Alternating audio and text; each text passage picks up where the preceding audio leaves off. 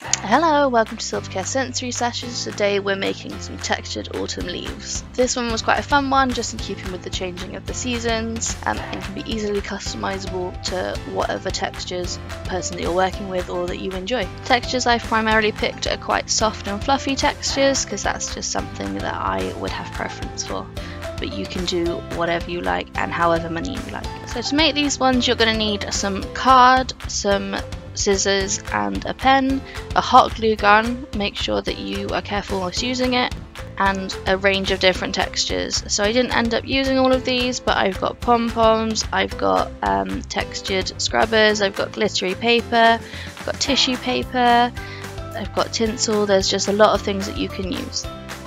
The first thing I did is took my A4 piece of card and I folded it in half. Once I folded it in half, I drew on a leaf shape that I was happy with and that I thought looked like an autumn leaf.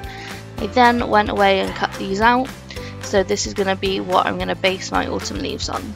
I then repeated this process a handful more times so I had lots of leaves to choose from.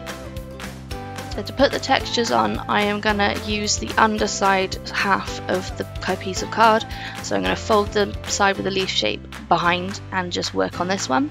For my first one I was going to use lollipop sticks because they're quite smooth but also I like the colours of these ones. So then I'm going to arrange them on the sheet of card and then I'm going to hot glue them onto the card.